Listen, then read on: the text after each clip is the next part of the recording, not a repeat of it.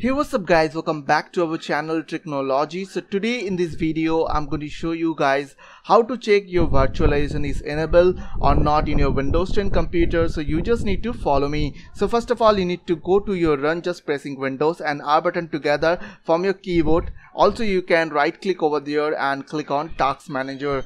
So I will put here Task MGR okay so i will get this task manager window. Also you can right click on your taskbar and click on task manager and you will get same window. Now you have to go to the performance tab and uh, under performance tab you have to go cpu and under cpu on the right side corner uh, you can see uh, one virtualization uh, is showing over there. Is enabled. That's mean it's enabled right now on my pc so if, if it is showing disable then you have to enable it from your uh, BIOS menu. So I hope this small video will really help for you. And please don't forget to click on the subscribe button like button and share button. And if you have any queries or question then comments down below. I will see you guys in the next one next video. Take care